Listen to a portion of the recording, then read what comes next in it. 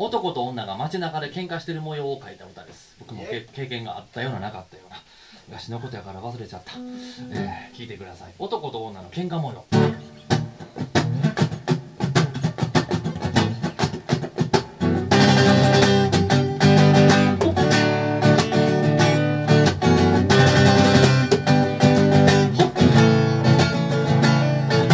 ある日街を歩いてたら若い男女が喧嘩してた。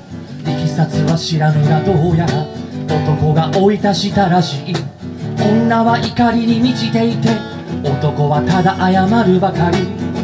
なあごめんなもうせえへんから。俺明日から変わるから。男は謝ってるけど女は耳を貸そうとせず男から離れ歩き出す。後ろを男まとわりつ女の手握り引き止める女は「落ちてこんといて」と振りほどく。なあほんまごめんな。もうせえへんから。俺明日から変わるから。女はそれはよっぽど嫌だったのだろう。それに対して男はわけのわからない言い訳した。だから女は怒りがなおさらこみ上げたのだろう。あくまで僕の推測だけど皆さんならどう思いますか？女は男を振りほどき人混みの仲間にで去った。男は追うのを諦めた。当然自室で立ち尽くす。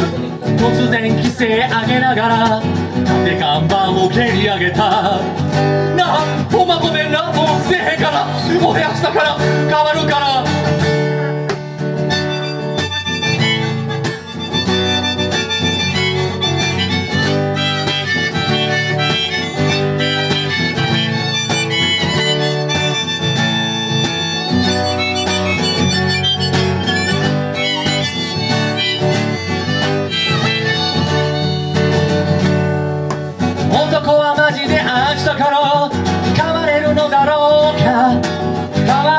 しても女は孫はチャンスで向き合えるか？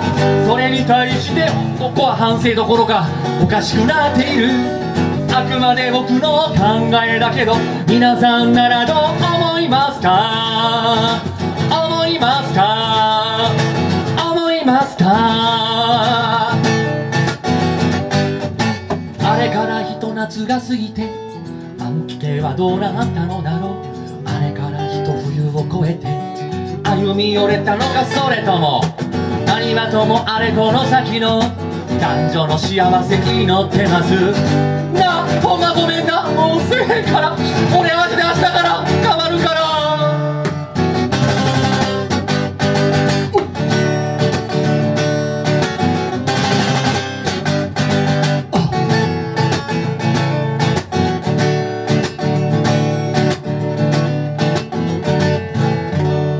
りがとう。仲良くなったんかな？この歌の登場人物の男の人女の人ってね、えー変わるからって叫んでましたよね。あの人ほんま変われるんかな、ねどうなんでしょうね。えーまあね、あの誰かと平成は争い事が非常に多かったんで次の暗球ではあ暗球で勝手に言ってますけども暗球暗球過去仮では、えー平和にしてほしいなと思います。平和になったらなって本当に思います、えーじゃあ次の歌を、え歌います。